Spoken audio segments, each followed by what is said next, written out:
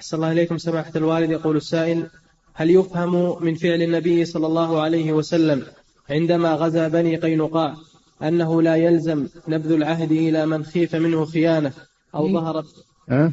يقول أحسن الله إليكم هل يفهم من فعل النبي صلى الله عليه وسلم عندما غزا بني قينقاع أنه لا يلزم نبذ العهد إلى من خيف منه خيانة أو ظهر منه بوادر الشر؟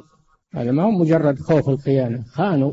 أوحى الله إلى نبيه أنهم يريدون قتله وأنه ما بقي على تنفيذ القتل إلا زمنا يسيرا يصعد هذا الشقي ويلقي الصخرة على الرسول صلى الله عليه وسلم. الخيانة ظهرت وأعلم الله سبحانه وتعالى نبيه صلى الله عليه وسلم بها ما هو مجرد خوف خيانة.